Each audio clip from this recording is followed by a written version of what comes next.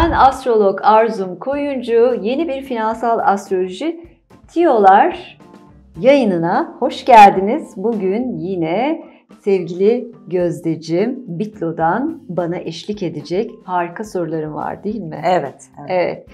Neden bu soruları istiyorum? Çünkü astroloji ile realite, istatistikler ve piyasa bilgileriyle e, nasıl ilerliyoruz onları hep birlikte istişare edelim diye.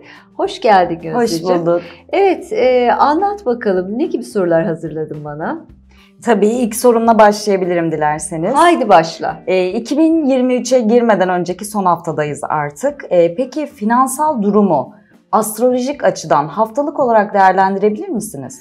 Tabii ki. Öncelikle herkesin e, bu 2022 yılını rahatlıkla ve kolaylıkla atlattığını umarak tebrik ediyorum. Bütün e, yayını seyredenleri seni de tebrik ediyorum. 2022'yi atlattık çok şükür. Evet çok şükür. Ve e, umutlarla, e, yeniliklerle bir 2023'e gireceğiz. Peki gökyüzü ne alemde ben sana onu anlatayım. İlk etapta e, bu son haftaya biz e, Ay Kova'da başlıyoruz. Ay Kova demek aslında kriptonun e, ana teması demektir. Yani haftanın ilk 3 günü gökyüzündeki kombinasyonlardan kaynaklı kripto piyasalarında biraz böyle bir kıpranışlar, bir yükselişler olacaktır. Oğlak yeni ayının etkisi içerisindeyiz ve Oğlak yeni ayının etkileri Tabii ki geçen haftadan belirtmiştik. Asgari ücret netleşecek demiştim hatırlarsan. EYT ile ilgili e, bilgiler ortaya çıkacak demiştim. Gerçekten de öyle oldu. Asgari ücret hepimize hayırlı uğurlu olsun. E, bir e, 8500 galiba evet. e, hatırladığım kadarıyla. Bir 3000'lik bir artış oldu. Ancak gökyüzünde geçen hafta Serez'in terazi burcuna geçişiyle birlikte gıda fiyatlarında artışlar söz konusu olacak ve Mars'ın retrosu halen devam ediyor. Mars retrosu 12 Ocağı kadar e, bize eşlik edecek ve bu Mars retrosunda maalesef Rusya Ukrayna Savaşı ile ilgili Jüpiter'in Koç burcuna geçişiyle birlikte biraz böyle e, nükleeri kullanmaya meyilli olmaya başladı. Bu da ne yapacaktır? Ee, ben bu hafta biraz daha sakin ve huzurlu geçeceğini düşünüyorum. Ancak ocağın ilk haftasından o e, sonuna doğru ki olan e, süreçte çünkü ocağın ilk haftası yani ilk yedisinde biz bir yengeç e, yeni ayı pardon dolunayı yaşayacağız ve burada inanılmaz bir şekilde her şey orta, ortaya çıkacak güvenlik alanımız, ailemiz, e, duygular ve finansal konular ön plana çıkacaktır. Dolayısıyla global olarak baktığımızda e, burada savaşın etkilerini e, deneyimleyeceğiz. Ayrıyeten e, önümüzdeki hafta 29 Aralık'ta e, Merkür, hepimizin bildiği bu Merkür retroya giriş yapacak. Ve retroya girdiği zaman da yine kriptoyu etkileyecek ve kripto haftanın ilk 3 günü yükselişteyken hafta sonuna doğru artık düşüşleri başlayacak.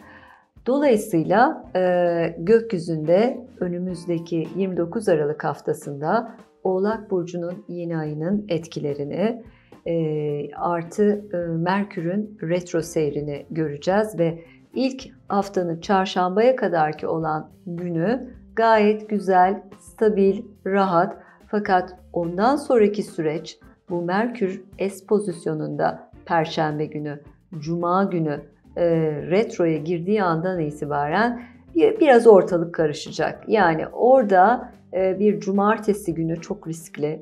E, mümkün mertebe e, yani yılın son günü e, lütfen yatırım yapmayın. E, yatırımı kendinize yapın. Önce bir istişare edin. 2022'ye başlamadan önce siz neler düşündünüz? Neleri planladınız ve 2023'e girmeden evvel e, ne kadarını gerçekleştirdiniz? Ve bundan sonrasında 2023'te neleri planlıyorsunuz? Hayallerinizi hedeflere dönüştürün ve hedeflerinizi e, muhakkak e, yazın. Ayrıca e, okültte birazcık bilgi vereyim. Ocağın birinden 12'ye kadar, 12 Ocağı kadar o günleri nasıl geçirirseniz 12 ay o şekilde geçecektir. Yani Ocak 1 nasıl geçecek? Ocak 2, e, ikinci 2 Ocak nasıl geçecek? E, ve önümüzdeki e, günler hakikaten e, finansal açıdan da yatırım yapmak için de uygun günler olacak. E, fakat bu yatırımlar nasıl e, olacak o haftalık planda bence izlemekte fayda var. Radikal, ani yatırım kararları yapmadan biraz inzivaya çekilip e, 2023 için hedef ulaştırmak çok önemli. Çünkü bir şey nasıl giriliyorsa öyle biter. Maalesef 2023'e biz Mars retrolu ve Merkür retrolu giriyoruz. Dolayısıyla geçen senede 2022 Venüs retrosu ve Merkür retrosuyla girmiştik. Haliyle e, 2023 e, yatırımlarımızı gerçekten kontrol etmemiz gerekiyor. Güven temasını sembolize ediyor. Çünkü Ay Boğa burcundayken 001 olacak. 2023 başlayacak ve Boğa burcunun teması Venüs ve Venüs'ün teması da maddi ve maneviyat ve dünyevi konular. E, Boğa'ya baktığında orada bir Uranüs var beklenmeyeni bekleyeceğiz. Dolayısıyla dijitalde, kriptoda inanılmaz e, inişler e, ve çıkışları göreceğizdir. Ocak 12'den sonrası asıl e, kripto için gümbür gümbür geliyor diyebilirim. Evet. E, yeni yılda yatırım araçları neler bekliyor? Yeni yıl, yeni yıl, yeni yıl. Evet, yatırım araçları. Şimdi hiçbir şeyin garantisi yok. Hayatta garanti var mı? Yok. E, garanti e, elde edebilmek için e, paranızı sepet sepet yumurta sakın beni unutma diyerek sepetle sepetin içerisindeki belli yatırımlara e, ayırmalıyız. Çünkü e, piyasa e, çok hareketli. Ee, borsaya e, tamamını aktardığınızda borsada e, duruşlar var. E, hesaplarınızı iniş ve çıkışları satışları gerçekleştiremiyorsunuz. Kriptoya tamamen yatırsanız kripto ile alakalı radikal hızlı düşüşler söz konusu olabilir sıkıntı yaratabilir. Yani bir tek bir token'a ya da bir tek bir kriptoya bağlanmak da yanlış. Emtialara baktığınızda e, emtiaların da ne olacağı belli değil. Yani böyle e, gayet puslu e, bir e, kombinasyon. Fakat burada 2023 astrolojik olarak bize emtiaların öne çıkacağını ve kriptonun e, 2023'ün kripto yılı olabileceğini öngörmekte. Tabii ki bu bir yatırım tavsiyesi değildir. Dolayısıyla bizler yatırımı nasıl yaparız? Bir kere bir şey yüksekken almayınız. Değil mi? Yatırımı daha düşükken alacağız. Dolayısıyla önümüzdeki hafta yani 2023'e start verirken kriptolarda düşüşler görülecektir. Bence e, kriptoya girme zamanı ve Bitcoin'un da e, sepet tokenları var değil mi? Evet, evet. Evet. Bu sepet tokenlardan e, alarak o sepetin içerisindeki çeşitli tokenlara yayılmış olarak yatırımınızın değerini kaybetmeden e, biz tutabiliyoruz. Doğru mudur? Evet Gözdeciğim? doğru. E, Türkiye'de bunu yapan ilk e, platformlardan biri de Bitlo zaten. Ne kadar güvenilir ve ne kadar güzel. E, bir de Gram G'miz var değil mi? Evet Gram Gold. Evet Gram Gold'da e, e, ne gibi özellikler vardı? Yine anlat istersen. E, Gram Gold 724 işlem imkanı sunuyor sizlere ve bu e, işlemleri yaparken de düşük maliyetle yapıyorsunuz. E, dolayısıyla avantajlı diyebilirim. Yani bankadan daha e, avantajlı değil mi? Kesinlikle öyle. Yani Harika. geleneksel yatırımdansa yani fiziksel altına yatırım yapmaktansa gram gold'a yatırım yapmak daha avantajlı kişiler için. Vallahi ortam felaket. Evinize hırsız girebilir. E, belli bir kararla bankadaki e, fiziki altınlarınız çık çık çık çık uçabilir. Fakat e, blockchain'in e, güvenliğiyle e, gram G'di değil mi? Evet. Yanlış söylemeyeyim. Gram G'niz e, güvenle e, tutabilirsiniz e, ve yatırımlarınızı doğru bir şekilde değerlendirebilirsiniz. Ben tabii ki bir yatırım tavsiyesi değildir. Fakat e, 2023'te e, altının e, ve e, kriptoların ayrıyetten doların da böyle aralarına girerek e, yükseleceğini düşünüyorum. Tamam. Tam da gram gold'dan bahsetmişken aslında altın dolar hakkında 2023 yılında nasıl gelişmeler yaşanır? Öngörüleriniz nelerdir? Tabii ki. E, şimdi e, piyasa birbirlerini e, destekleyen bir şekilde ilerliyor. E, burada e, Amerika Merkez Bankası ve Fed'in kararları e, gerçekten e, piyasanın nasıl ilerleyeceğine dair baş aktörü. Dolayısıyla burada global olarak bizler gelişmekte olan ülkeler olsun, diğer Avrupa ülkeleri olsun, hepimiz e, Amerika Merkez Bankası'nın alacağı kararlara bakarak kendi e, ekonomimizi belirliyoruz. E, bu bağlamda baktığımızda Amerika Merkez Bankası zaten enflasyonu indirme çabasında. E, fakat bunu yaparken de e, çok ihtiyatlı davranıyor. Yani e, kartlarını ağırdan oynuyor. E, öyle hızlı, e, bizim gibi cengaver değil. Yani biz e, Akdenizliyiz, Türküz. Biz çat çat çat giriyoruz ortalığa. İşte e, belli halimizden e, Merkez Bankası faizi sabitliyor. İhracat, ithalat açıklarımız var. Enflasyon gidiyor. Fakat Türk'ün gücü var. E, BIST'imiz var, borsamız var. E, kripto ile ilgili dijital platformlarda yarın öbür gün e, emin olun e, bir takım e, dijital e, TL'yi de görebileceğimizi öngörüyorum. E, dolayısıyla e, burada Amerika'nın alacağı kararlar e, faizleri kademeli kademeli arttıracaktır. İlk 3 ay 2023'ün o ilk çeyreği var ya en zor olan zamanlar. Çünkü burada e, stratejik olarak e, enerjinin de Rusya enerji e, şeyini hmm, pardon özür dilerim Rusya enerji e, kaynağını elinde çok güçlü bir silah olarak sunacaktır.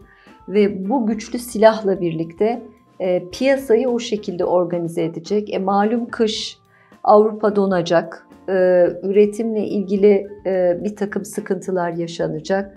Avrupa Birliği'nin astrolojik olarak öngörümü zaten dağılacağını biz öngörüyoruz. Keza Amerika'da da bu ilk 3 aydan sonraki süreçte e, enflasyondan kaynaklı bir takım sorunların iç e, kendi iç düzeninin karışması söz konusu. Biden'in rahatsızlıkları daha çok ortaya çıkabilir. E, onun yerine Kamala Harris'in daha ön planda olabileceğini öngörebiliriz. Burada yani biraz piyonlar değişecek. Fakat Türkiye açısından baktığında e, Türkiye stratejisini yani oradaki e, coğrafi konumunu doğru bir şekilde kullandığında yani e, kazan kazan olarak e, eğer e, Rusya ile yapmış olduğu işbirliğini belli bir yere kadar tutabilirse o zaman biz de evet e, bu döngüden güzel bir şekilde faydalanabiliriz diyorum ama seçim ekonomisi e, çok fazla şeyler saçılıyor e, ve bu saçılma e, yarın öbür gün çok daha fazla fiyat artışı demek. Paramız değersizleşiyor. Burada üretim, üretim, üretim çünkü Türkiye'nin haritasına baktığımızda Kuzey Ay Başak. Biz tarım ülkesiyiz. Biz dünyayı, dünyanın eskiden buğday deposuyduk. Fakat biz şu anda yurt dışından buğday ithal ediyoruz. Ee, ve bu e, bence en acı bir şey. Kendi kaynaklarımıza sahip çıkıp e, yeraltı kaynaklarımız olsun, toprağımız olsun, çiftçimize destek vererek ilerlememiz gerekiyor.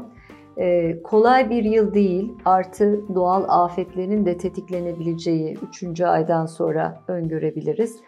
Böyle bir e, 2023 bekliyor şekerim. E, son olarak burçları finansal olarak neler bekliyor? Evet, şimdi geldik burçlara. Öncelikle koçlar. İlk etapta koçların e, kendi kapasitesini farkında olması lazım. Çünkü Mayıs'a kadar çok güzel şanslar ve fırsatlar var. E, böyle sürpriz kazançlar ama sürpriz de e, kayıplar yaşayabilir. Bunu yapmaması açısından mantıklı ve dikkatli bir şekilde yatırımlarını yapmalarını tavsiye ediyorum.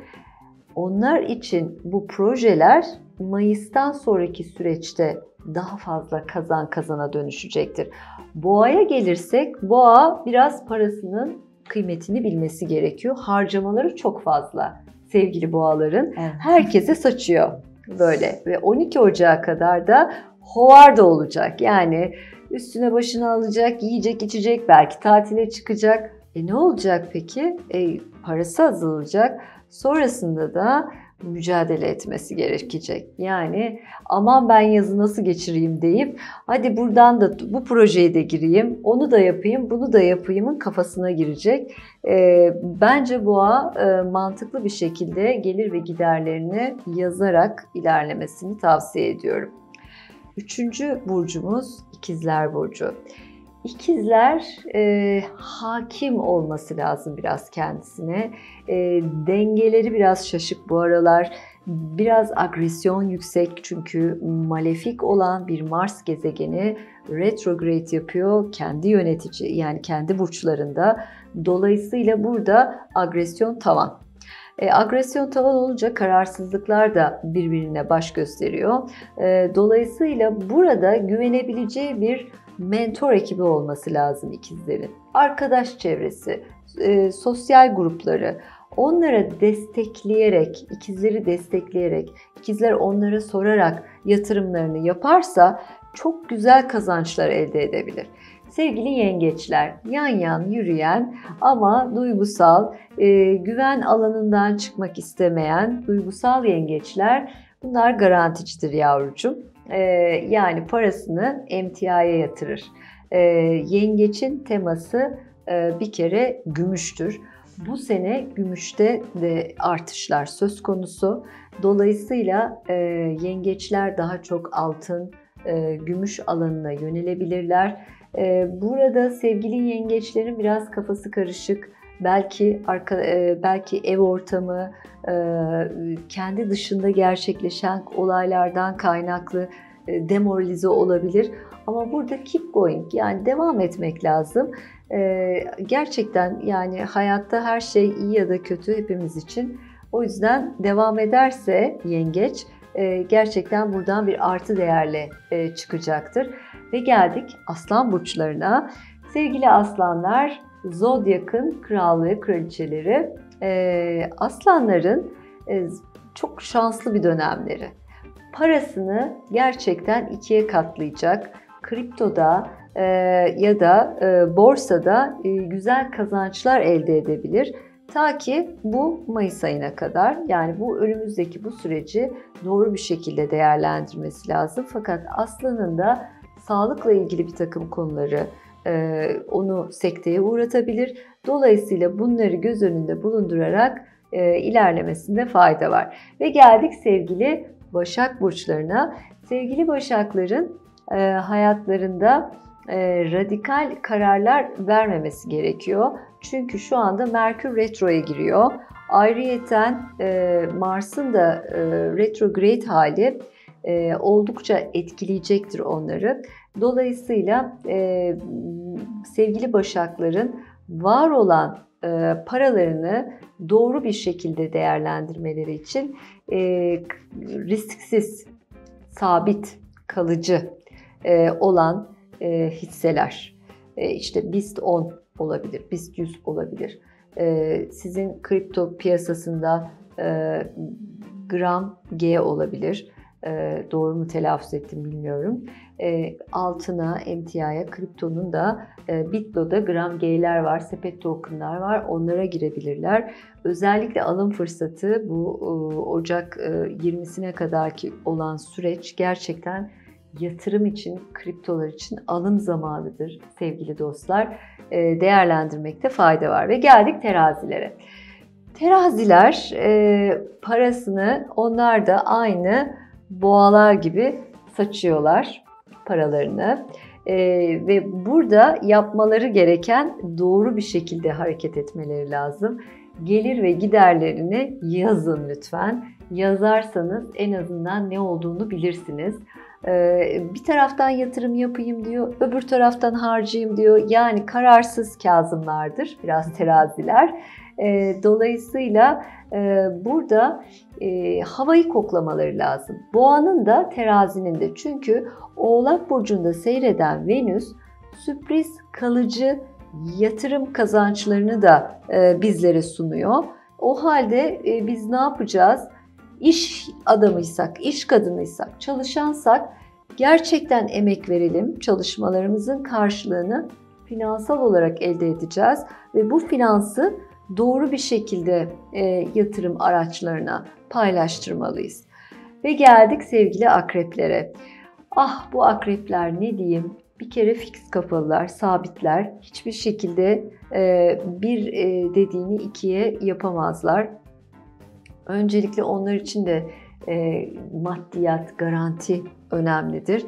Şu anda akreplerin yönetici gezegeni Mars retroda ve 12 Ocağı kadar da bunların kafalarını karıştırıyor. E bir de bir taraftan da Merkür retrosu bu işin içine girecek. E dolayısıyla önümüzdeki 12 e, ve 20 Ocak, 20 e, Ocağı kadar yani ocağın sonuna kadarki olan süreçte e, kayıplar yaşayabilir. Ani, radikal herhangi bir şekilde yatırım yapmayın. Hmm, yani kızıyorum. Çünkü akrepleri çok severim. E, içtendirler ve en çok da kendilerine zarar verir. Hiçbir akrepten zarar gelmez ama en çok akrebin kendisinedir zararı. Dolayısıyla sevgili akrepler lütfen ani radikal kararlar vermeyiniz bekleyiniz, izlemede kalınız ve bu arada yeni fırsatlar var, yeni projeler var. Bu Merkür Retrosu ve Mars Retrosu yani e, içe kapanma zamanlarıdır Gözdeciğim. Bizler e, aslında şu e, bu yılbaşına girişi, ocağı e, bir e, nekahat dönemi olarak adlandıralım. Hani e, nasıl bir hamuru yoğuruyoruz ve bırakıyoruz mayalanmaya. Biz de maddi ve manevi olarak kaynaklarımızı bir bakalım lütfen. Ve bu kaynakları nasıl arttırabiliriz? Bununla ilgili bir takım çalışmalar ve plan ve program yapalım ve Ocak sonrasında gerçekten harekete geçelim. Çünkü 24 Ocak ve 20 Nisan arası çok güzel bir gökyüzü var. Kalıcı yatırımlar, kalıcı ilişkiler açısından kazan kazan diyor bize gökyüzü. Ve geldik sevgili yaylara. Bu yaylar sentor.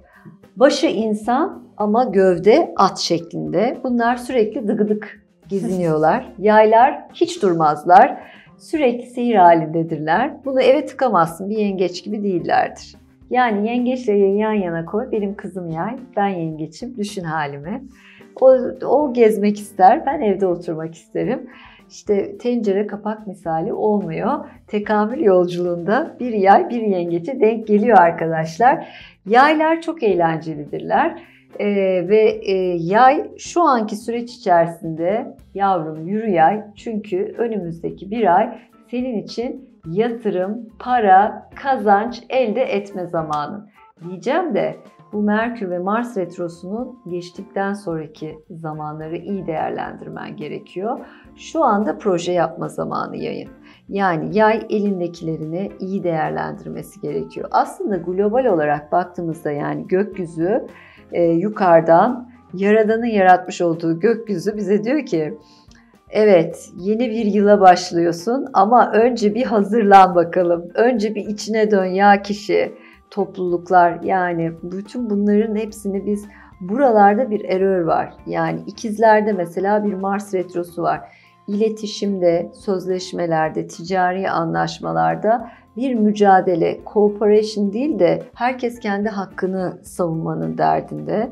Bir taraftan e, Merkür Retrosu Oğlak Burcu'nda gerçekleşiyor. Oğlak Burcu'ndaki diğer gezegenler bir Venüs, bir Merkür, e, retroya girmeden önceki haliydi, daha iyiydi. Ama bir retroya girince de bizim eski projelerimiz üzerinden e, daha fazla kazanç elde edebileceğimizi gösteriyor. Ve e, bir Oğlak Venüs kalıcı kazancı getirir. Dolayısıyla sevgili yaylar sizin kalıcı, güzel e, iş başvurularınız eğer iki hafta önce olmuşsa güzel kazançlı bir işe girebilirler. E, projeleri varsa eskiden yarım kalmış onlara yönelip kazan kazan yapabilirler. İşbirlikleri açısından sevinebilirler. Hakikaten güzel bir zamanın içerisindeler. Ve geldik sevgili oğlak burçlarına. Sevgili oğlaklar ağır abiler. Bir kere Zodyak'ın karmanın lordu. Bunlar e, elindeki işte cetvelle gezen öğretmenlerdir. Eğer yanınızda bir oğlak burcu erkeği ya da kadını varsa öncelikle sizi tebrik ediyorum. Allah sabır versin. Ondan sonra da e, ne mutlu size ki tekamül yolculuğunuzda e, sizi en iyi yerlere getirecek bir kişilerden bir tanesidir. Oğlak azim ve istikrardır. Zorlar sizi hep daha iyisini olmak için. Dolayısıyla e, Oğlan şu anki süreç içerisinde hem Güneş hem e, Venüs hem de Merkür Retrosu ile birlikte ağır hareket ettiği için bunlar kolektif gezegen Satürn'le yönetici gezegeni e, hızlı hareket edemiyor. İkizler gibi değil. İkizler pıt diye alır. Ama e, şey öyle değil. Oğlak düşünür. İyi mi olur, kötü mü olur, şöyle mi olur, böyle derken fırsat kaçar. İşte bu zaman o eski fırsatların, iş fırsatlarının geldiği zamanlar doğru bir şekilde değerlendirirlerse o zaman tıkır tıkır tıkır tıkır işleri yoluna girecektir. Kovalara gelirsek. Şimdi kovalarda marjinaller, e, outrage yani bunlar kendilerini konuşmalarıyla, giyimleriyle gösterirler. E, ve kovalar olmasaydı renk olmazdı, skala olmazdı. Gerçekten her burç bizim ihtiyacımız olan bir e, enerjiyi e, bize anlatıyor, aktarıyor. E, dolayısıyla kovanın da baktığımız zaman şu anki süreç içerisinde yakın çevresiyle, sözleşmeleriyle, e, yapacağı e, network'üyle çok güzel kazançlar elde edeceğiniz bir zamanın içerisindesiniz sevgili kovalar. Dolayısıyla parayı para edecekleri bir zaman içerisi. Kardeşiyle mi işbirliği yapar? Yakın arkadaşıyla mı, komşusuyla mı? Bunlarla iş arkadaşıyla mı, grup çalışması mı? parayı kazanacaksınız ve eski projelerinize geri dönün. Çünkü bir Merkür Retrosu var. Dolayısıyla burada o eski projelerinize e, yönelik hareket ettiklerinde gerçekten güzel, olumlu anlamda bir kazanç elde etme zamanları. Ve geldik balık burçlarına. Sevgili balıklar bu senenin e, gerçekten önümüzdeki Mayıs'a kadarki olan süreçte paraya kripto diyeceği, altın diyeceği zamanları yaşıyor. E, çünkü Jüpiter onların para evlerinde. E, burada balığın o duygusal e, travmatik e, tarafından e, kurtulup ciddi anlamda ne yapabilir? Gelen fırsatları, daha önce çünkü fırsatlar ayağına gelmişti. Şimdi bunları paraya çevirme zamanları. Eski projelerine geri dönüp baksınlar. Onları iyi değerlendirsinler. Gerçekten çok güzel kazançlar elde edebilirler. Evet, sevgili Gözde ile e, bu 2023'ün e, burçlara yatırımını sordum bana. Ben de elimden geldiğince umarım e, anlatabilmişimdir. Ağzınıza sağlık. Çok keyifli bir çekimdi. Çok teşekkür ederim. Ben çok teşekkür ediyorum. Gözdeciğim ayağına sağlık ne mutlu benim kanalımı, programımı aydınlattığı için sevgili Gözde ben e, bütün seyircilerimin karşısında, takipçilerimin karşısında teşekkür ediyorum. İyi ki varsın Gözdeciğim. Siz de öyle. Asıl ben teşekkür ederim. Evet şimdi 2023 yılı için e, bir dileğin var mı? Niyetin var mı? Söyle bakayım. Var sanırım. Evet. Söyleyeyim mi? Söyle. yani kariyer anlamında ilerlemek olabilir. Harika. Evet şimdi kariyeriniz için, aşkınız için, cebinizdeki paranız için. Çünkü cebinizdeki para sizi kral ve kraliçe yapar. Dolayısıyla Gözde de çok doğru bir şey söylüyor. Kariyerim için diyor. Kariyerinde başarılı olmak demek Gözdecim cebinin dolması demektir. Evet demek ki bizler 2023 yılı için tüm takipçilerime bol kazançlar, yatırımlarınızın kat be kat size e, daha fazla vererek geri dönmesini arzu ediyorum. Efendim ben Bitlo'da yatırımlarımı gerçekleştiriyorum. Bitlo kripto para borsası en güvenilir platformlardan bir tanesi. Ben tüm yatırımlarımı bu şekilde değerlendiriyorum. Evet sevgili dostlar, takipçilerim ben astrolog Arzum Koyuncu. 2023 yılı kripto ve emtia yılı olacağından güvenilir yatırımlarınızı kazan kazan şeklinde yapmak için ben yatırımlarımı Bitlo'da yapıyorum. Siz de gelin Bitlo'yu deneyimleyin. Güven içerisinde yatırımlarınızı yapabilirsiniz. Aşağıdaki referans kodunu kullanarak. Sevgili dostlar videomuzu beğendiyseniz beğen butonuna basın ve abone olmak isterseniz de abone olun lütfen. Görüşmek dileğiyle, hoşçakalın.